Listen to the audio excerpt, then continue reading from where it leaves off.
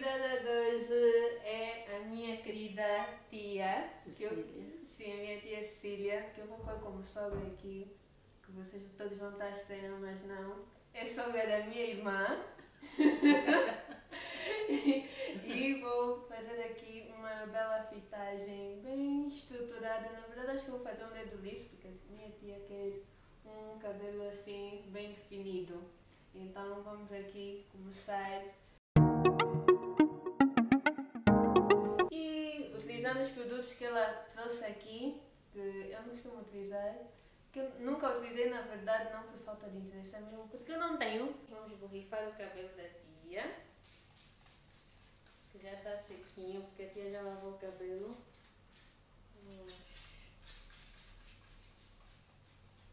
Eu vou já avisar que essa água está um bocadinho batizada, tia. Tá? Com o quê? Tem óleo de coco. E tem eh, glicerina. Hum, ok. óleo de coco é mesmo para dar aquele brilho, a glicerina é para coisa. Como é que é? Absorver a umidade natural do dia a dia. Ok. Na rua tem muita umidade, Tem. então para o cabelo estar a sugar a umidade. Ok. O cabelo da tia também nos tipos 4. Tipo 4. Uhum. Um, C4, 4A, 4B. Da tia, sem dúvida. O meu está entre C 4A. Isso quer dizer o quê? É o tipo de curvatura. Ah, Tipo de curvatura do cabelo. mais trabalho, menos trabalho. Não, é, é mesmo só hum, cachos eh, naturalmente mais definidos, outros Ah, não. ok. Para poder ter o cabelo natural, o que é que aconteceu? Tive que usar muito tempo peruca para Ah, aproveitar o sim. trançar sempre o cabelo. Eu, eu, eu ia trançando o cabelo. tá? Então, como eu ia trançando o cabelo, já não desfrizava porque tinha peruca. Então, de cada vez que eu desmanchasse a trança, tirava as pontas lisas. Voltava a trançar, usava a peruca normalmente. Até que depois de muito tempo, o, o cabelo foi ficando natural. Mas isso foi um processo de mais de um ano. Sim, ou quase um ano, por aí. Porque eu tinha mesmo o cabelo bastante liso. Transição. Usava peruca, eh, aplicações. Ok. Então isso foi mesmo o grande passo que, que coisa. Isso ajudou muito para ter o cabelo natural. Depois isso foi cortando. Ia cortando sempre um bocadinho as pontas lisas. Né? Ficava, ia cortando, ia cortando. Sim. Agora já não me vejo com cabelo liso. Se eu quiser ter o cabelo liso, brasileiro, boto uma peruca. Pronto, e acabou. Sim. Não pode esticar, eu eu estico o cabelo. Sim, o- os Bem esticar bastante também eh, altera o formato do cacho. Bem, o que eu estou aqui a fazer é um dedo liso e os cachos aqui estão mesmo a formar rapidamente. É que tem um, inclusive, que eu nem tinha passado creme Hum, e, e formou logo um cachinho. Estou a utilizar aqui esse creme de pentear que a tia comprou. Ok, Deixa eu do mostrar aí. coco. E ao dedo do coco da capsulinha. Não sei se dá, dá pra ver, espero que tenha focado. Se não focar, eu vou deixar nas descrições. Bem, eu comecei a filmar, estamos até aqui. Eu fiz os dedos lisos, como eu disse. Depois eu comecei a utilizar este. É um ativador de cachos da sala online, todo cacho, que eu sei que é muito boa. E vou mostrar-vos como é que eu estou a fazer isso tudo agora mesmo. Essa zona aqui. Que eu vou separar.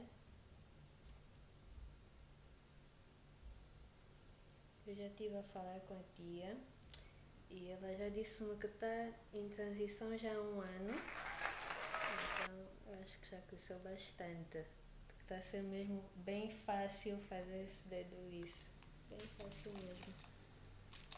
E é uma técnica que as pessoas em transição devem sempre utilizar para dar mais formato aos cachos. Depois de um tempo, os cachos vão ganhando o seu formato e se tu estiveres sempre a, a fazer essas técnicas, depois de um tempo já não vais precisar muito, tal como eu também nem preciso, né? Chega uma altura que não dá. Basicamente, vais puxar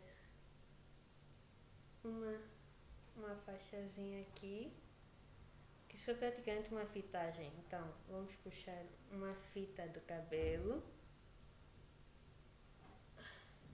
Temos de colocar o ativador. Nesse caso, deixar de colocar. Mas antes de, pôr, de puxar a fita, eu prefiro pôr já na zona que eu vou utilizar.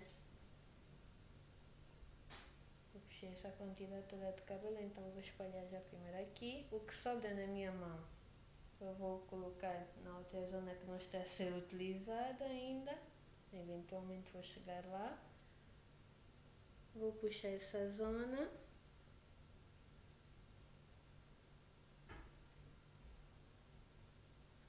Eu gosto sempre de passar um bocadinho uma escova, um, um pente.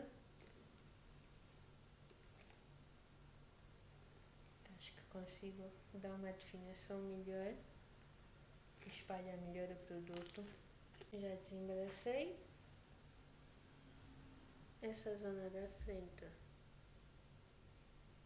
estava muito grande, então separei em dois novamente e vou enrolando assim, só com o dedo, isso aqui é dedo liso. Vai enrolando, vai enrolando, enrolando e largo. Automaticamente ele vai se transformar. E vou fazendo o mesmo em todos os lados fazer de novo aqui. Mas tem de se lembrar que essa zona da frente é sempre mais ressecada, porque está mais sujeita a fatores externos no nosso dia a dia. Tanto que ele está ter ligeiramente mais uma luta em relação aos de trás para formar-se. Então o que é que vamos fazer? Visto que ele ainda está a ter essa luta, vamos vir com os de trás e vamos deixar eles para o final Vamos ter depois mais água, obviamente. Aqui ele está a precisar de mais atenção. Quando o cabelo não está a aceitar fazer esse dedo liso, precisa de mais atenção em relação aos outros fios. Já esse de trás aqui pegou melhor.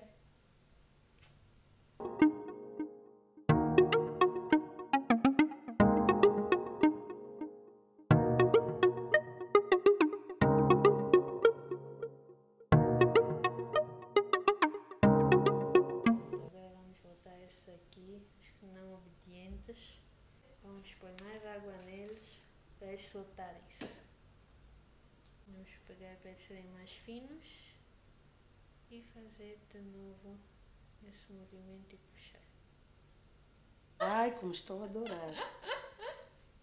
Ai, como estou a adorar! Vejam, vejam, vejam. Ai, como estou a adorar! Não fiz a tia falar isso, vejam, sou uma boa pessoa.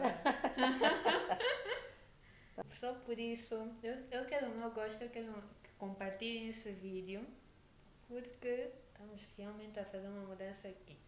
Compartilhem uhum. mesmo. Oi, são voz da sabedoria. ah, compartilhem mesmo, estão super lindos, não vale a pena. Estão super. Tá, já está pronto. Tá lindo. Ai, que Aqui lindo. ainda nem o espelho, calma, vamos. Ai, que um espelho. Melhor. A tia só, só tá ansiosa, só estou a sentir. Também pode, pode ir no espelho grande, mas por enquanto mesmo esse aqui. Está. Ai! Tá aí o resultado. Ai! Do dedo liso. Ai! Agora a tia também tem que passar a fazer em casa. Eu vou passar a fazer. Posso... Chique! Meus cabelinhos loirinhos aqui. Mas são os loirinhos. Ah! Na moda. Nosso cara assim. Atrás está mesmo, eu sinto sua pegada. Tá lindo. Um gostinho. Sim. Por favor, gostaram? Um gostinho. Um gosto, não se esqueçam.